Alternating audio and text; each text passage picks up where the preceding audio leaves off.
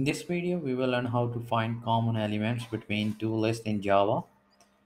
For example, if we have list uh, 1 and list 2 and need to find the element that exists in both lists. We can use list method retain all for this. Let's see how to do this. In uh, main function, I will create a list of integers and name it as numbers one. And a new array list.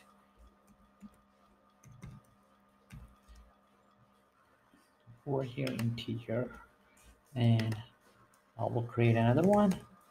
List of integer. And name it numbers two. And new array list. And then in numbers one list I will call add all function to convert arrays as list. And over here I will do integer array one two three four five six seven.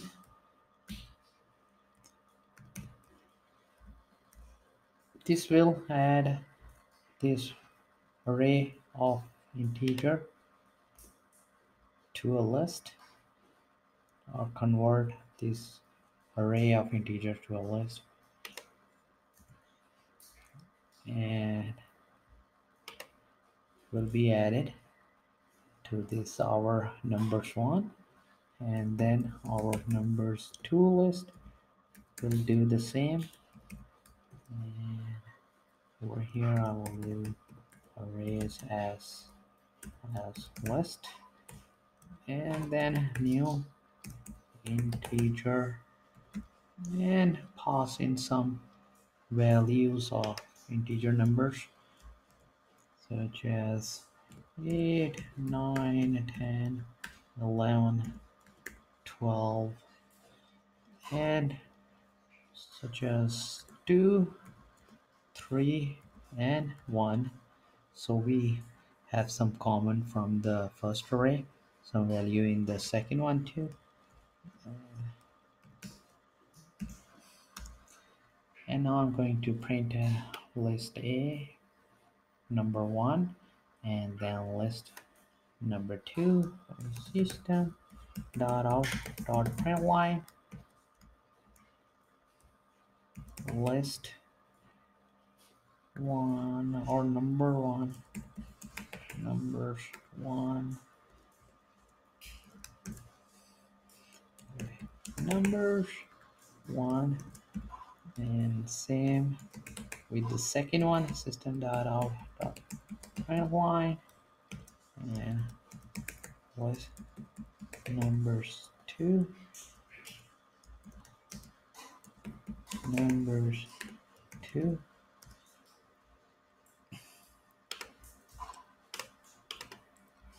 Now I will create another third list.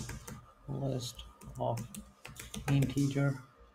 And name it third list new array. List. And in this list I will add the first list. Numbers. One first. Third. List. Dot add. All. Numbers. One. And to get our common elements between a, a and b. Now i'm going to use third list dot retain all and pass in numbers two list. And now I'm going to print it off. These again numbers one and numbers two and then common elements between A and B. Or I already printed these over here so I'm just gonna print the common elements now. So system dot out dot print line and